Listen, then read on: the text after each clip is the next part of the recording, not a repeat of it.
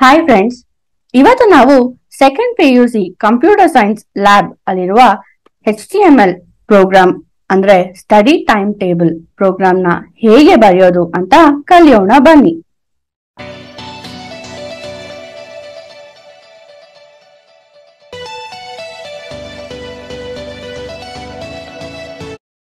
ಇದರ problem statement ಏನು? Write up H D M L program to create ಒಂದು H T M L program ನಾವು ಒಂದು study time table ಅಂದ್ರೆ ನಿಮ್ ಕಾಲೇಜ್ ಟೈಮ್ ಟೇಬಲ್ ಏನಿರತ್ತೋ ಅದನ್ನ ನಾವು ಡಿಸ್ಪ್ಲೇ ಮಾಡೋದಕ್ಕೆ ಬರೀಬೇಕು. ಇದರಿಂದ ನಾವೇನ್ ಕಲಿತೀವಿ?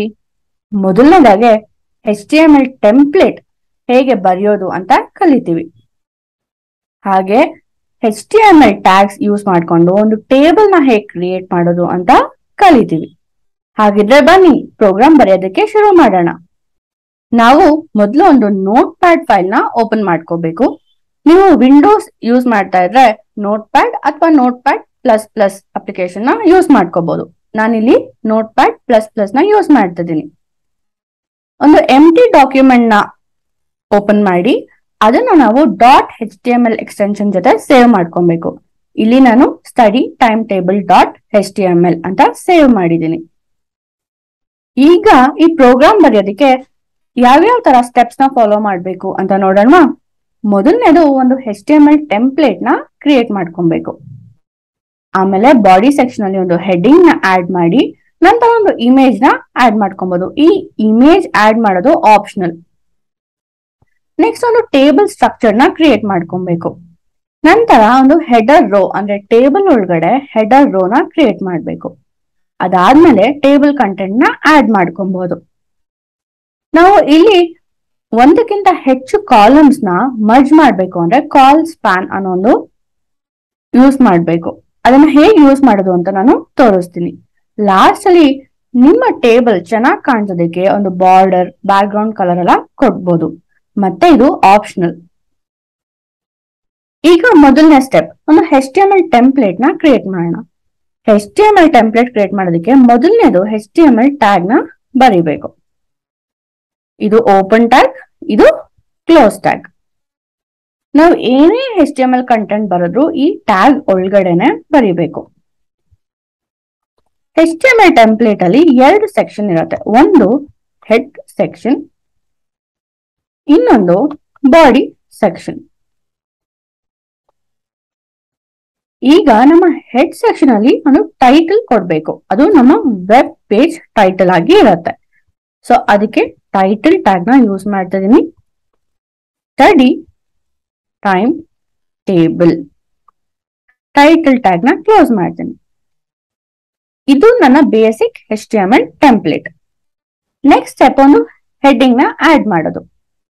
ಸೊ ಬಾಡಿ ಸೆಕ್ಷನ್ ಅಲ್ಲಿ ನಾನು ಹೆಚ್ ಒನ್ ಟ್ಯಾಗ್ ಈ ಹೆಚ್ ಒನ್ ಟ್ಯಾಗ್ ಅನ್ನೋದು ಹೆಡ್ಡಿಂಗ್ನ ಆಡ್ ಮಾಡೋದಕ್ಕೆ ಉಪಯೋಗಿಸ್ತೀವಿ.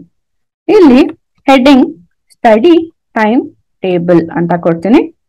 ಈ ಹೆಚ್ ಒನ್ ಟ್ಯಾಗ್ನ ಕ್ಲೋಸ್ ಮಾಡ್ತೀನಿ. ಈ ಹೆಡ್ಡಿಂಗ್ ನನ್ಗೆ ಸೆಂಟರ್ ಅಂದ್ರೆ ನನ್ನ ವೆಬ್ ಪೇಜ್ ಅಲ್ಲಿ ಸೆಂಟರ್ ಅಲ್ಲಿ ಬರ್ಬೇಕು ಅಂದ್ರೆ ಇದನ್ನ ನಾನು ಸೆಂಟರ್ ಟ್ಯಾಗ್ ಅಲ್ಲಿ ಮಾಡ್ಬೋದು. ಸೊ ಈ ಸೆಂಟರ್ ಟ್ಯಾಗ್ನ ಕ್ಲೋಸ್ ಮಾಡ್ತೀನಿ. ಈಗ ನೆಕ್ಸ್ಟ್ ಸ್ಟೆಪ್ ಒಂದು ಇಮೇಜ್ನ ಆಡ್ ಮಾಡೋದು. ಅದು ಆಪ್ಷನಲ್ ಇಲ್ಲಿ ನಾನು ಮಾಡ್ತಾ ಇಲ್ಲ. ನೆಕ್ಸ್ಟ್ ಒಂದು ಟೇಬಲ್ ಸ್ಟ್ರಕ್ಚರ್ನ ಕ್ರಿಯೇಟ್ ಮಾಡೋದು. ನಾವು ಹೆಚ್ ಟಿ ಎಂ ಎಲ್ ಅಲ್ಲಿ ಟೇಬಲ್ಸ್ ಕ್ರಿಯೇಟ್ ಮಾಡಬೇಕು ಅಂದ್ರೆ ಟೇಬಲ್ ಟ್ಯಾಗ್ನ ಉಪಯೋಗಿಸ್ಬೇಕು. ಸೊ ಓಪನ್ ಟ್ಯಾಗ್ ಮತ್ತೆ ಕ್ಲೋಸ್ ಟ್ಯಾಗ್ನ ಬರೀತಾ ಇದೀನಿ.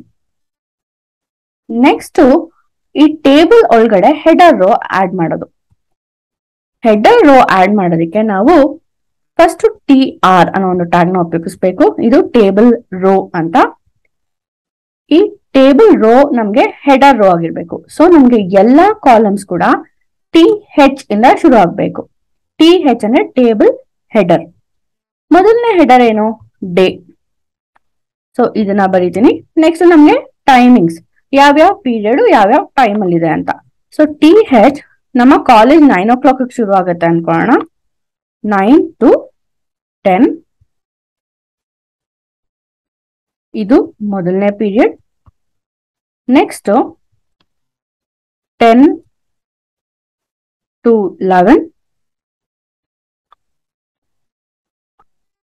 ಪ್ರತಿಯೊಂದು ಕಾಲಮ್ಗೂ ನಾವು ಟಿ ಹೆಚ್ ಓಪನ್ ಟ್ಯಾಗ್ ಇರಬೇಕು, ಮತ್ತೆ ಟಿ ಹೆಚ್ ಕ್ಲೋಸಿಂಗ್ ಟ್ಯಾಗ್ ಇರಬೇಕು. Next eleven to twelve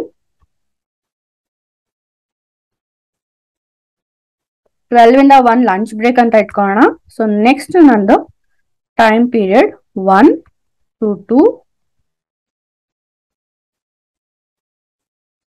next two to three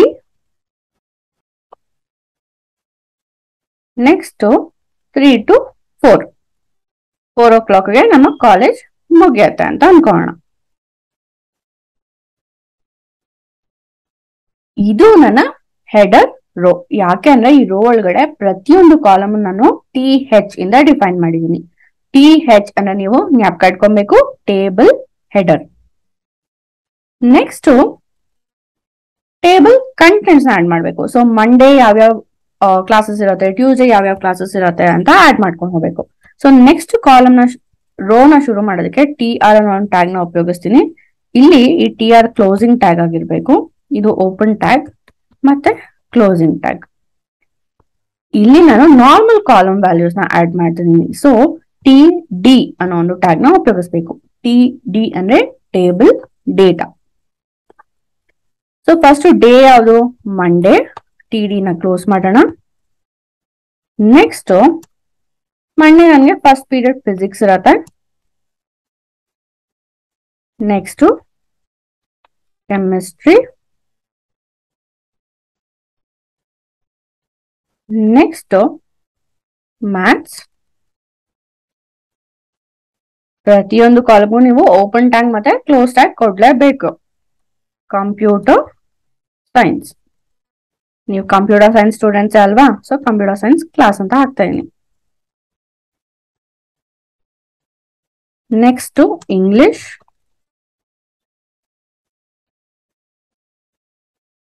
ಮತ್ತೆ ಕನ್ನಡ ಲ್ಯಾಂಗ್ವೇಜಸ್ ಇರುತ್ತೆ. ಸೊ ಇದು ನನ್ನ ಸೆಕೆಂಡ್ ರೋ ಆಯ್ತು. ಇದೇ ರೀತಿ ನಾನು ಪ್ರತಿಯೊಂದು ಡೇಸ್ಗೂ ನಾನು ನನ್ನ ಟೈಮ್ ಟೇಬಲ್ ವ್ಯಾಲ್ಯೂಸ್ನ ಆಡ್ ಮಾಡ್ಕೊಂತ ಹೋಗ್ಬೇಕು. So Tuesday Wednesday Thursday Friday Saturday ಅಂತ. ಈ ಡೇಟಾ ನಾನು ಆಲ್ರೆಡಿ ಪ್ರಿಪೇರ್ ಮಾಡಿದ್ದೀನಿ ಸೊ ನೀವು ಕಾಪಿ ಪೇಸ್ಟ್ ಮಾಡ್ಕೊಂಡು ಇಲ್ಲಿ ವ್ಯಾಲ್ಯೂಸ್ನ ಚೇಂಜ್ ಮಾಡಬಹುದು. ಇದನ್ನ ನಾವು ಕಾಪಿ ಮಾಡೋಣ. ಇಲ್ಲಿ ರೋಸ್ನ ಕ್ರಿಯೇಟ್ ಮಾಡ್ಕೊಂತ ಹೋಗ್ಬೇಕು. ಸೊ ಪ್ರತಿಯೊಂದು ರೋಗು ನಾವು ಟಿ ಆರ್ ಅನ್ನೋ ಒಂದು ಟ್ಯಾಗ್ನ ಉಪಯೋಗಿಸ್ಬೇಕು. ಮತ್ತೆ ಪ್ರತಿಯೊಂದು ಕಾಲಮ್ಗೂ ನಾವು ಟಿ ಡಿ ಅನ್ನೋದನ್ನ ಉಪಯೋಗಿಸ್ಬೇಕು. ಇಲ್ಲಿ ಅಲೈನ್ಮೆಂಟ್ನ ನೀವು ಸರಿ ಮಾಡ್ಕೊಳ್ಳಿ.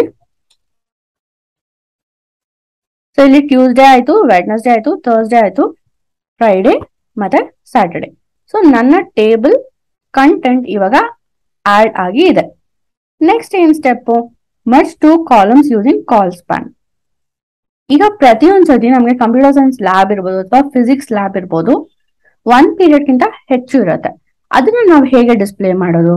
ಸೊ ಈ ಟ್ಯೂಸ್ಡೇ ಅಲ್ಲಿ ನಾನು ಇಂಗ್ಲಿಷ್ನ ತೆಗೆದು ಟಿ ಡಿ ಕಾಲ್ ಸ್ಪ್ಯಾನ್ ಅಂತ ಉಪಯೋಗಿಸ್ಬೇಕು. ಸೊ ಅದಕ್ಕೆ T D space colspan ಎಷ್ಟು ಕಾಲಮ್ಸ್ ನಾನು ಮರ್ಜ್ ಮಾಡಬೇಕು? ಎರಡು ಕಾಲಮ್ನ ನಾನು ಮರ್ಜ್ ಮಾಡ್ತಾ ಹೋಗ್ಬೇಕು. ಸೊ ಅದಕ್ಕೆ ಟೂ ಅಂತ ಕೊಡ್ತೀನಿ. ನೀವು ಎರಡಕ್ಕಿಂತ ಜಾಸ್ತಿ ಅಂದ್ರೆ ತ್ರೀ ಫೋರ್ ಕೂಡ ಕೊಡಬಹುದು. ಇಲ್ಲಿ ಕಂಪ್ಯೂಟರ್ ಸೈನ್ಸ್ ಲ್ಯಾಬ್ ಅಂತ ಕೊಡ್ತೀನಿ. ಸೊ ಇದು ನಮ್ಮ ಕಾಲ್ ಸ್ಪ್ಯಾನ್ ಉಪಯೋಗಿಸುವಂತ ಒಂದು ರೀತಿ. ನೆಕ್ಸ್ಟ್ ಬಾರ್ಡರ್ ಮತ್ತೆ ಬ್ಯಾಕ್ ಗ್ರೌಂಡ್ ಕಲರ್ ಕೊಡೋದು. ಈ ಟೇಬಲ್ಗೆ ಬಾರ್ಡರ್ ಕೊಡ್ಬೇಕು ಅಂದ್ರೆ ನಾವು ಇಲ್ಲಿ ಟ್ಯಾಗ್ ಒಳಗಡೆ ಬಾರ್ಡರ್ ಅನ್ನೋ ಒಂದು ಆಪ್ಷನ್ ಉಪಯೋಗಿಸ್ಕೊಂಡು ಕೋರ್ಸ್ ಅಲ್ಲಿ ಎಷ್ಟು, ನಮ್ಗೆ ಎಷ್ಟು ದೊಡ್ಡದಾಗ್ಬೇಕು? ಒನ್ ಟೂ ತ್ರೀ ಅದರ ಎಷ್ಟು ದೊಡ್ಡದಾಗ್ಬೇಕು ಅಂತ ಕೊಡ್ಬೋದು. ಇಲ್ಲಿ ಸದ್ಯಕ್ಕೆ ಒನ್ ಅಂತ ಕೊಡ್ತಾ ಇದೀನಿ. ನೆಕ್ಸ್ಟ್ ನನಗೆ ಬ್ಯಾಕ್ ಗ್ರೌಂಡ್ ಕಲರ್ ಬೇಕು ಅಂದ್ರೆ ಬಿಜಿ ಕಲರ್ ಅನ್ನೋ ಒಂದು ಆಪ್ಷನ್ನ ಉಪಯೋಗಿಸ್ಬೇಕು. ಬಿಜಿ ಕಲರ್ ನನಗೆ ಯೆಲ್ಲೋ ಅಂತ ಕೊಡ್ತಿದ್ದೀನಿ ನನ್ನ ಟೇಬಲ್ ಬ್ಯಾಕ್ ಗ್ರೌಂಡ್ ನನಗೆ ಯೆಲ್ಲೋ ಕಲರ್ ಇರಬೇಕು ಅಂತ. ಈಗ ನನ್ನ ಟೇಬಲ್ ನಾನು ಬಡ್ದಾಯ್ತು. ಇದನ್ನ ಸೇವ್ ಮಾಡೋಣ. ನಾನು dot H T M L ಅಂತ ಸೇವ್ ಮಾಡ್ತಾ ಇದ್ದೀನಿ. ಸೊ ನೀವು ಕೂಡ ಡಾಟ್ ಎಚ್ ಟಿ ಎಂ ಅಂತಾನೆ ಸೇವ್ ಮಾಡಬೇಕು. ನೀವು ಇವಾಗ ಎಲ್ಲಿ ಸೇವ್ ಮಾಡಿರ್ತೀರೋ ಆ ಫೈಲ್ನ ಓಪನ್ ಮಾಡಿ ನೋಡಿದ್ರೆ ಇಲ್ಲಿ H T M L document ಅಂತ ಇರುತ್ತೆ. ಅದನ್ನ ನಿಮ್ಮ ಬ್ರೌಸರ್ ಅಲ್ಲಿ ಓಪನ್ ಮಾಡ್ಬೋದು. ಅದು ಫೈರ್ಫಾಕ್ಸ್ ಇರ್ಬೋದು ಅಥವಾ ಗೂಗಲ್ ಕ್ರೋಮ್ ಇರ್ಬೋದು ಅಥವಾ ಇಂಟರ್ನೆಟ್ ಎಕ್ಸ್ಪ್ಲೋರರ್ ಅಥವಾ ಎಡ್ಜ್ ಕೂಡ ಇರ್ಬೋದು. ಸೊ ಇದನ್ನ ಓಪನ್ ಮಾಡಿದ್ರೆ ನಮ್ಮ ಟೇಬಲ್ ನಮ್ಗೆ ಡಿಸ್ಪ್ಲೇ ಆಗತ್ತೆ. ನೋಡಿ. ಹೆಡ್ಡಿಂಗ್ ಮಧ್ಯದಲ್ಲಿ ಬಂದಿದೆ. ನಾವು ಹೆಡ್ ಸೆಕ್ಷನ್ ಅಲ್ಲಿ ಏನ್ ಟೈಟಲ್ ಕೊಟ್ಟಿದ್ವೋ ಅದು ಸ್ಟಡಿ ಟೈಮ್ ಟೇಬಲ್ ಅಂತ ಇಲ್ಲಿ ಇದೆ. ಸೊ ಇದು ವೆಬ್ ಪೇಜಿನ ಟೈಟಲ್ ಇದು ನಾವು ಬಾಡಿ ಸೆಕ್ಷನ್ ಅಲ್ಲಿ ಹೆಚ್ ಒನ್ ಟ್ಯಾಗ್ ಉಪಯೋಗಿಸಿ ಕೊಟ್ಟಿರುವಂತ ಒಂದು ಹೆಡ್ಡಿಂಗ್ ಈಗ ನಮ್ಮ ಟೈಮ್ ಟೇಬಲ್ ಇಲ್ಲಿ ಡಿಸ್ಪ್ಲೇ ಆಗ್ತಾ ಇದೆ. ಸೊ ಇಲ್ಲಿ ನೋಡಿದ್ರೆ ಡೇಸ್ ಇದೆ ಟೈಮ್ ಪೀರಿಯಡ್ ಇದೆ Monday Tuesday Wednesday Thursday Friday Saturday ಅಂತ ಎಲ್ಲಾ ವ್ಯಾಲ್ಯೂಸ್ ಬಂದಿದೆ. ಒಂದು ಬಾರ್ಡರ್ ಕೊಟ್ಟಿದ್ದೀನಿ, ಹಾಗೆ ಬ್ಯಾಕ್ ಗ್ರೌಂಡ್ ಕಲರ್ ಕೂಡ ಇದೆ. ಇಲ್ಲಿ ನಾವು ಕಾಲ್ ಸ್ಪ್ಯಾನ್ ಉಪಯೋಗಿಸ್ಕೊಂಡು ಎರಡು ಕಾಲಮ್ನ ಮರ್ಜ್ ಮಾಡಿರೋದು ಡೇಟಾ ಕೂಡ ಇದೆ. ನೀವು ಇಷ್ಟು ಔಟ್ಪುಟ್ ತೋರಿಸಿದ್ರೆ ಸಾಕು. ಸೊ ಈ ಪ್ರೋಗ್ರಾಮ್ ನಿಮ್ಗೆ ಅರ್ಥ ಆಗಿದೆ ಅಂತ ಅನ್ಕೊಂಡಿದೀನಿ. ನಿಮ್ಗೆ ಏನೇ ಡೌಟ್ಸ್ ಇದ್ರು ನಮ್ಮ ಕಮೆಂಟ್ಸ್ ಸೆಕ್ಷನ್ ಅಲ್ಲಿ ನೀವು ತಿಳಿಸಬಹುದು. ಈ ವಿಡಿಯೋ ನಿಮ್ಗೆ ಇಷ್ಟ ಆಗಿದ್ರೆ ಲೈಕ್ ಮಾಡಿ, ಹಾಗೆ ನಿಮ್ಮ ಎಲ್ಲಾ ಫ್ರೆಂಡ್ಸ್ ಜೊತೆ ಶೇರ್ ಮಾಡಿ. ನೀವು ನಮ್ಮ ವೆಬ್ಸೈಟ್ ಕಲ್ಯಾಣ ಡಾಟ್ ಕಾಮ್ನ ವಿಸಿಟ್ ಮಾಡಿದ್ರೆ, ಇಲ್ಲಿ ನಿಮ್ಗೆ second P U C computer science program ಜೊತೆಗೆ ಹಲವಾರು courses JavaScript C S S H T M L Java SQL ಈ ತರ ಕೋರ್ಸಸ್ಗಳು ಅವೈಲಬಲ್ ಇದೆ. ಇದನ್ನ ನೀವು ಕಂಪ್ಲೀಟ್ ಮಾಡಿದ್ರೆ ನಿಮ್ಗೆ ಕೋರ್ಸ್ ಕಂಪ್ಲೀಷನ್ ಸರ್ಟಿಫಿಕೇಟ್ ಕೂಡ ಸಿಗತ್ತೆ.